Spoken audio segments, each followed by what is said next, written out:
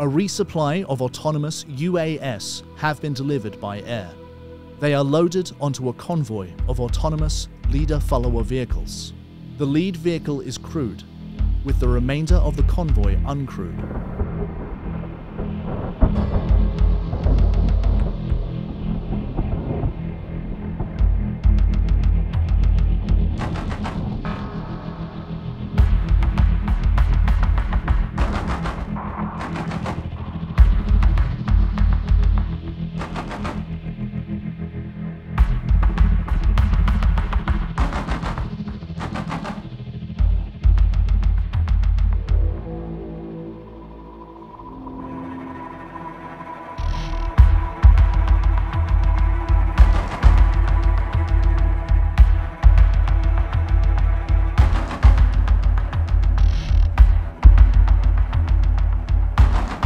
The consignment is delivered to the Friendly Force Combat Team, loaded onto the Optionally Crewed Combat Vehicles, or OCCV, and prepared for employment.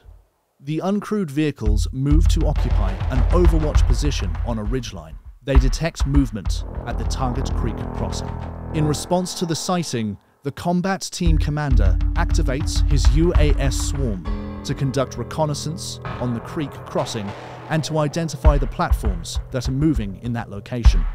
This swarm has the capacity to enhance effectiveness of the land force using AI and autonomy to both coordinate movement and generate mass with significantly reduced human input and exposure to risk. The ISR swarm is relaying data back to the commander in real time. He remains in a concealed position whilst he completes his assessment of the threat and formulates his response. The ISR swarm classifies the force as a motorized enemy platoon, made up of four BTR 80s with supporting infantry. A warning order for subsequent action is issued by the CT commander. The CT commander then deploys a swarm electronic warfare attack ahead of the main attack.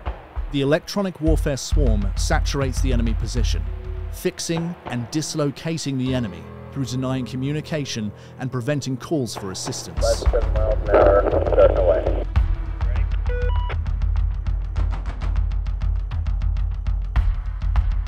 With the enemy isolated and their C2 paralyzed, they are now vulnerable. The ISR swarm continues to gather information, with data passed in real time to the commander, allowing him to complete his plan and issue confirmatory orders. While the swarm electronic warfare detachment was moving, the uncrewed OCCV troop occupied a support by fire position, as per the warning order. The troop is capable of being remote or teleoperated at significant distance from the operators through waypoint navigation and leader follower system. The CT commander launches a swarm in attack configuration in accordance with his plan. The attack swarm approaches the enemy position, splitting into multiple packets with a subset commencing a top attack assault.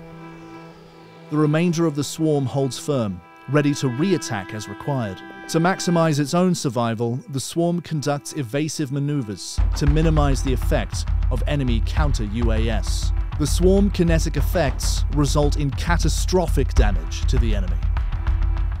It should be noted that at this stage, there has not been a human on board any of the platforms involved in contact with the enemy. At H hour, a tank troop with supporting mech platoon crosses the line of departure. The ground assault commences after the swarm has completed the first attack. The assaulting force is moving cross country on a north-westerly axis and is prepared to destroy any remaining enemy if required. The ISR swarm continues to provide real-time battle damage assessment and situational awareness to the commander. The crewed force elements stop short of the objective, allowing a dismounted robotic section to clear the objective while they provide overwatch. The robotic element systematically searches the position using advanced AI, image recognition, and context awareness to identify any injured, dead, or surrendering. Following the robotic team, friendly force elements will conduct the final clearance.